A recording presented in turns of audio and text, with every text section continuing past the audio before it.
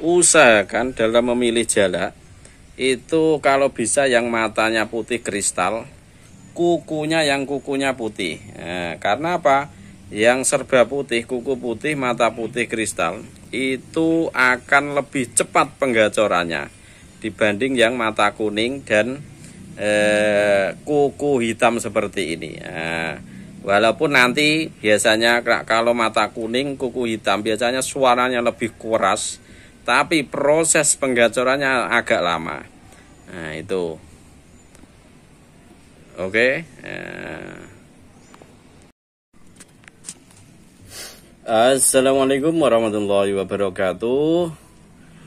Oke, masih bersama channel kami tentunya di seputaran jalak kebut, jalak nias, jalak uren, jalak putih, jalak Hongkong ataupun jalak lah jalak lainnya ya. Nah, untuk kali ini kita akan membahas supaya jalak kita itu gacor, bisa ngomong dan isian. Nah, itu apa saja yang harus kita lakukan? Nah, ini yang harus kita eh, apa perbuat untuk menggacorkan jalak kita supaya tidak cuat-cuit saja apa? Tidak monoton suaranya. Eh, ini juga yang sering ditanyakan eh, kok jalak saya cuma cuat-cuit saja bang? Nah, itu apa penyebabnya dan harus bagaimana? Nah, itu ya, kali ini kita akan kupas tuntas semuanya. Untuk yang pertama supaya kita tahu jalak kita bisa cepat gacor Pertama kita pastikan umur jalak dulu. Nah, umur jalak kita itu sudah berapa bulan atau berapa tahun. Nah, baru kita membahas gacornya. Kalau masih anakan seperti ini, ya ini bulunya belum tuntas ini. Ini yang di kepala pun eh, masih warna piye, eh, baru baru mau rubah bulu. Umur segini atau sekitar 1 sampai 5 bulan. Eh, diberi makanan apa pun, diproses seperti apa pun tetap tidak akan bisa gacor. Itu jala. Eh, makanya eh, kalau umurnya masih muda, diberi perawatan, pemasteran sesering mungkin pun eh, nanti tetap tentu akan nggak bisa gacor. Nah, itu. Makanya kita lihat dulu apa umur jalak kita sudah berapa bulan atau berapa tahun. Eh, itu Nah, nah, untuk jalak dari piye gacor itu biasanya biasanya paling minim itu 9 bulan. Nah, paling minim 9 bulan. Nah, biasanya kalau sudah 9 bulan itu biasanya kriwiknya agak agak keras. Isiannya keluar dan omongannya pun kalau memang bisa itu biasanya sudah pelan pun sudah ada tanda-tanda di situ. Nah, itu Nah, karena jalak biasanya kerasnya itu paling enggak itu biasanya ya satu tahun satu tahun setengah. Nah itu jalak mulai sangat gacor. Nah itu jalak apa pun bisa jalak suren, jalak nias, jalak apa pun. Nah itu memang paling minim memang ya 9 bulan lah. Nah itu kalau memang ada yang tipe factor ataupun eh, memang nalurinya memang bagus biasanya ya tujuh bulan tapi ya tentu tidak segacor yang tua. Karena jalak apa? Semakin jalak tua akan semakin bagus. Itu termasuk kelebihan jalak. Makanya dalam memelihara jalak memang itu harus sabar. Nah, sabar kuncinya. Nah, karena kita uh, tidak tahu kapan waktunya eh, apa tepatnya biasanya birahinya e, pertama muncul. Lah itu biasanya paling gacor. E, di tangan pun akan apa sangat jinak. Nah itu. Itu yang pertama kita ketahui umur. Nah, untuk selanjutnya untuk selanjutnya eh kita pastikan jantan jalak kita. Kalau jantan eh, umur setahun pun nanti akan gacor dan sangat gacor dan lebih berpotensi eh, lebih gacor.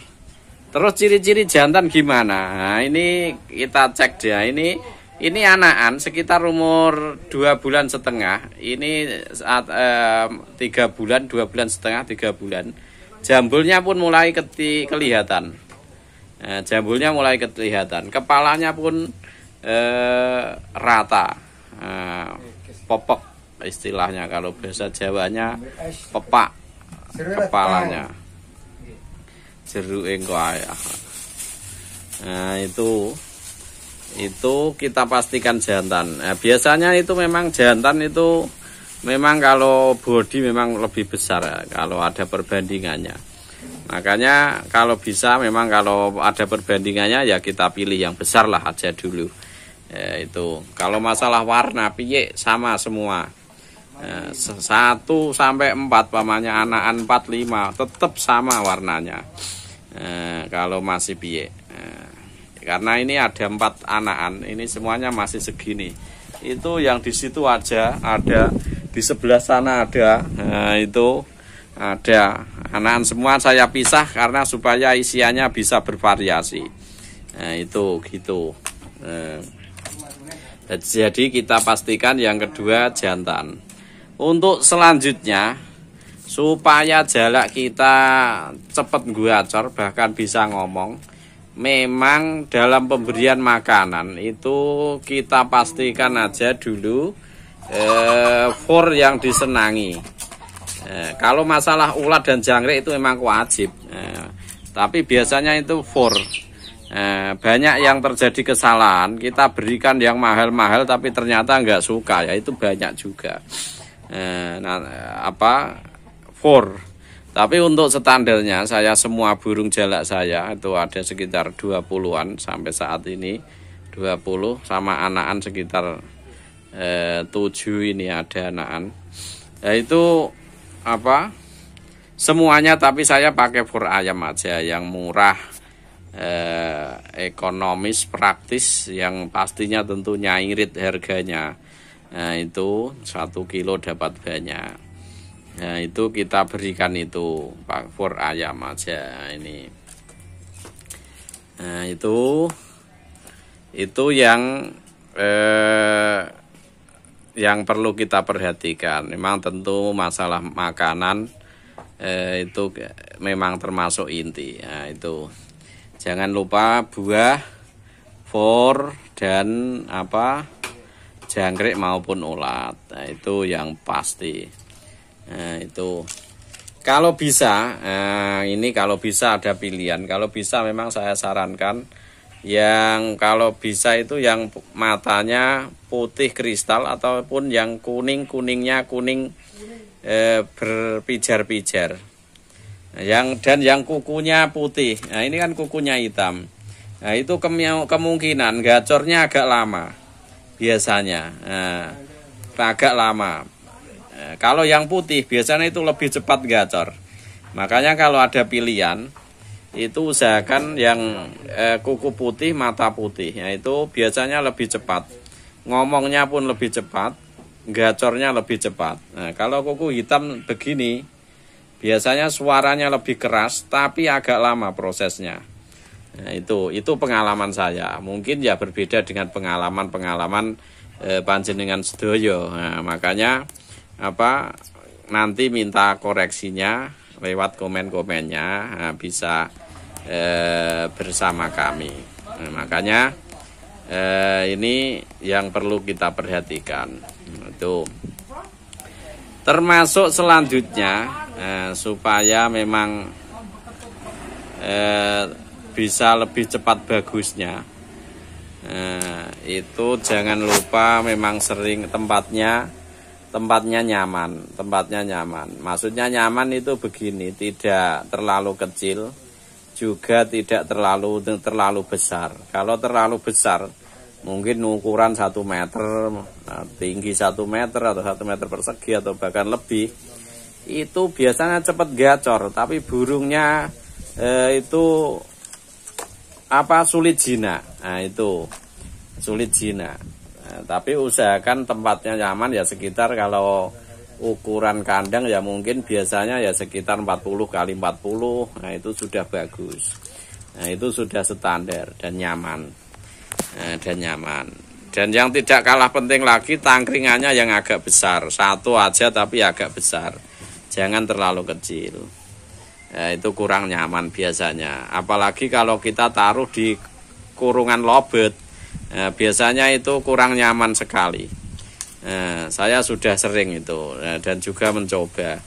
Bahkan kalau burungnya kurang begitu eh, jinak bahkan biasanya itu bisa luka-luka karena terlalu keras. Eh, tapi kalau rujinya seperti ini eh, rujinya seperti ini itu apa burungnya sekeras apa pun akan aman. Nah itu termasuk kelebihan kandang yang eh, rujinya lembek. Nah, itu yang penting aman lah untuk burung. Nah itu. Dan yang tak kalah penting lagi itu tempat eh, tempat seperti ini. Tempat minum ya tempat minumnya eh, tempat minumnya itu kita bisa berikan yang agak besar. Eh, yang agak besar. Biar dia masalah minum nanti bisa buat mandi ya itu. Eh, itu. Nah itu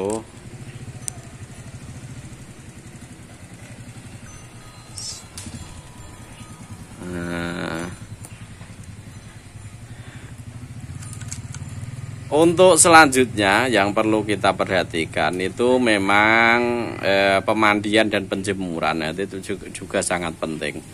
Mandi eh, dan penjemuran. Mandi kalau bisa ya sehari sekali aja sudah cukup atau kita beri cepuk yang besar nanti mandi sendiri itu pun juga eh, sangat bagus nah, itu itu akan memicu lebih cepat jalak itu bersih eh, bebas dari kutu karena tempatnya pun bersih eh, airnya pun bersih. Nah itu nah itu juga perlu diperhatikan. Ya itu mungkin itu saja dulu. Nanti kita sambung ke video yang lain. Kurang lebihnya tentu mohon maaf yang sebesar-besarnya. Banyak kekurangannya karena minimnya pengalaman saya.